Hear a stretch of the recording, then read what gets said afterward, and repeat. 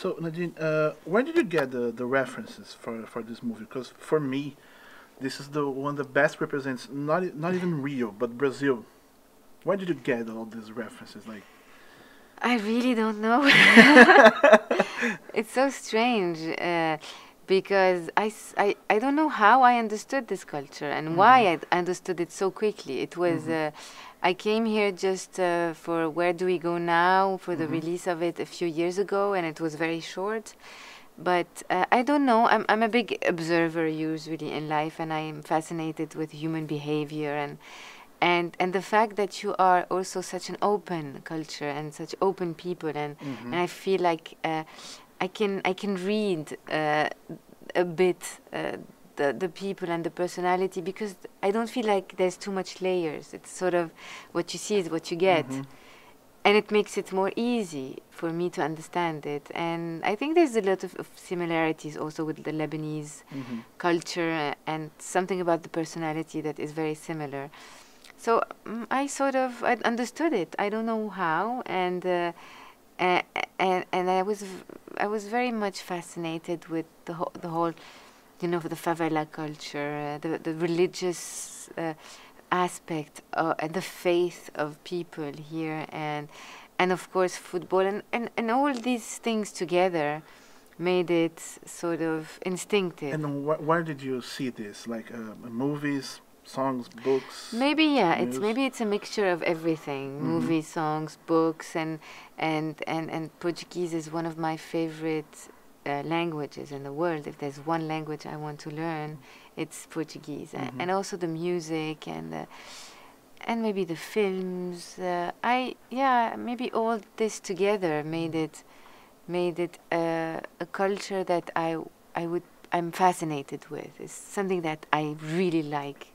It's not like I'm I'm I'm I'm, um, how do you say I'm delving into something that is not uh, you know not fascinating for me. It's a fascinating culture, and and and, and, and I was happy to do it. And is there something in Brazil that you, you'd like to see some, to see or to show in a movie or something that I don't know? Something in Brazil. Yes. It's really the like I told you the warmth of the mm-hmm. people, the the accessibility and the mm-hmm. simple approach Yes, to life and to things and to just life in general.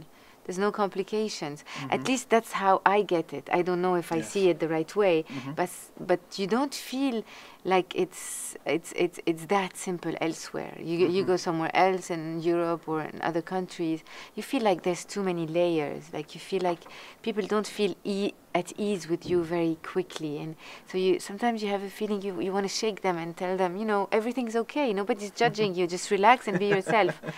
and it's not something I feel here. I mm-hmm. felt at home very quickly. I felt like and even on the shoot with the people with the crew i felt just comfortable being around everyone so and this is really relaxing when you really feel comfortable while working also because it, it's very important. It gives you wings so you Yeah. see, and you, you, you start communicating with everybody very easily and and for me it was such a real pleasure working with this little kid and and f- it's mm, you know he's magic he's genius and and I was so happy to find him because it's exactly how I pictured him when I was when we were writing the script.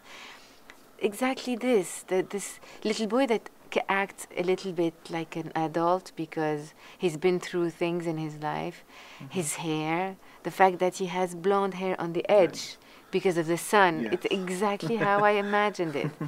So when I saw him, it was like for me a revelation. But it mm-hmm. was not easy because everybody thought I was completely crazy to work with him because you saw how he is.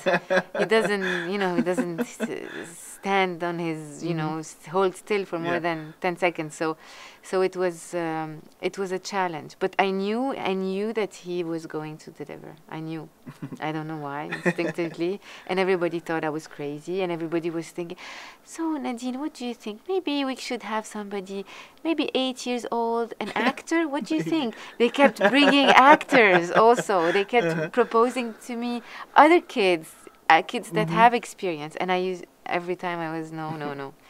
I need Cauã. I need one Cauã. So And, Yeah. and do you feel any difficult being a woman directing movies? Because we don't see a lot of women directing movies, and I think we should. But we definitely should because I think it's very important to have this uh, uh, different approach to things and this uh, different point of view on life and on things. It's, it's it's it's important that we have it. But I've never really felt the difficulty of my job because I'm a woman. It's very surprising even to me.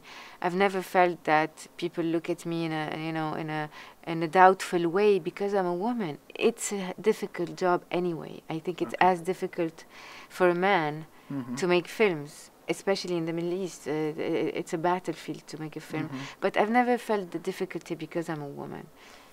Maybe because I believe very strongly that uh, you know we, we have the same uh, ability to make films. I've never felt anybody doubt it. So, and it's important that we have this new that and this different point of view on, on things. okay, okay, Nadine, thank you.